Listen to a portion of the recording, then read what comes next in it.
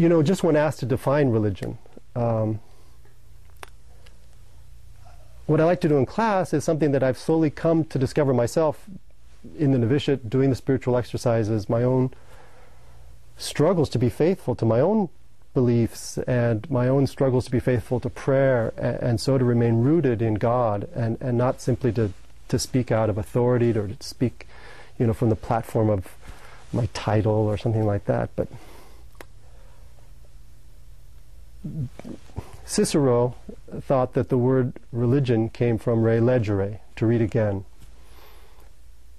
And that resonates with, I think, an awful lot of what Ignatian spirituality is this, this desire to discern the traces of God uh, in my own life. That as I, as I read Scripture, I have to read between the lines to try to understand what God is saying to me and to us today.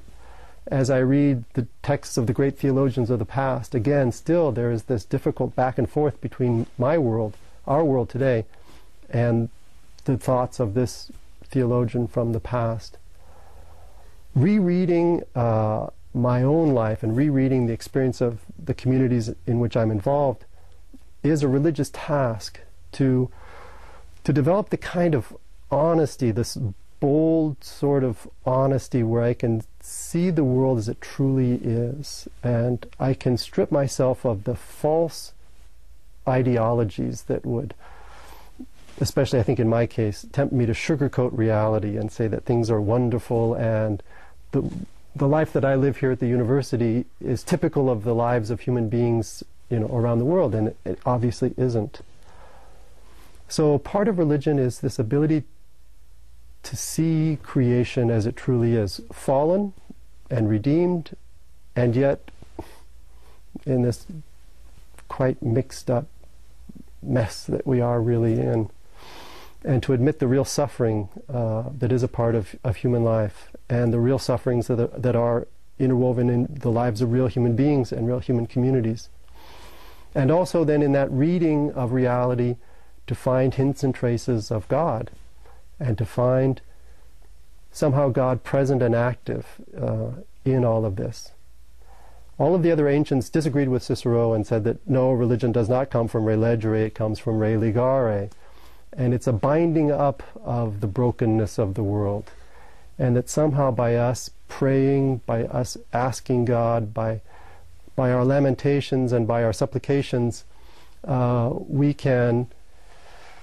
goad God into uh, giving us the backbone and the strength to bind the world up to right wrongs and to make a more just society, and that we can invite God and cajole God into intervening God's self and through grace, uh, establishing justice and healing divisions and righting wrongs. Uh, and I think this too is, is fundamental to what religion is. Not only helps us to see the world as it is, but it helps us to dream the world that ought to be. There's a tension between these two, and I think it's a helpful one, it's a creative one. Uh, it's one that I, I live personally, and it's the one that I invite students also to grapple with and I find that they are quite willing to, to enter into this. Uh, when religion is presented in a way that's fundamentally honest and fundamentally challenging, uh, I think it's also fundamentally inviting.